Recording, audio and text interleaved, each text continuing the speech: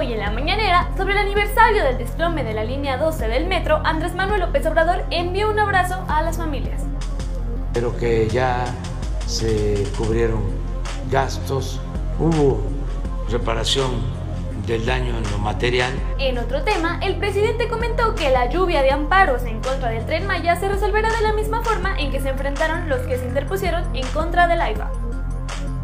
En este caso no son los campesinos, no son ejidatarios, no son pequeños propietarios, son pseudo ambientalistas. Cada vez estoy más convencido de que son unos farsantes.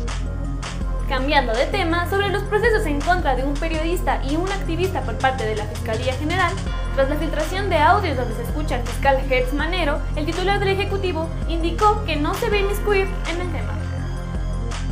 López Obrador calificó a los opositores a su propuesta de reforma electoral como chuecos, porque dice que buscan desaparecer al INE. Por último, AMLO hizo una recomendación a sus opositores.